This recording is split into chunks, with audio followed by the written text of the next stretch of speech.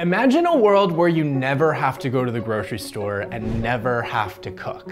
All you have to do is turn on your 3D printer and print out a delicious dinner. Food from a spray can slash packet slash printer slash machine is a through line in science fiction from the Jetsons to Back to the Future, offering characters a hyper-processed and futuristic sense of convenience. This idea of ready-to-go meals already exists.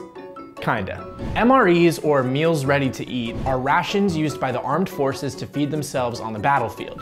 MREs date all the way back to the Civil War, but modern MREs are usually some kind of shiny packet with a dehydrated meal inside. Soldiers can add water to a second bag, which will release heat via exothermic reaction, stick their sealed MRE inside, and bam, you have a hot, home-cooked meal.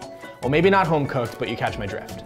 But if you're not ready to enlist in the military for the sake of convenience, may I interest you in a 3D printed cheeseburger.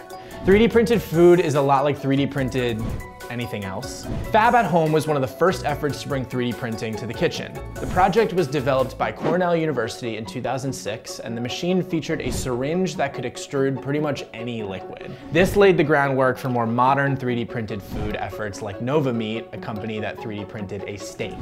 Yum. It seems like we're still a ways away from instant food in our everyday life, but a boy can dream, damn it, so let's take a look at how instant food pops up in science fiction.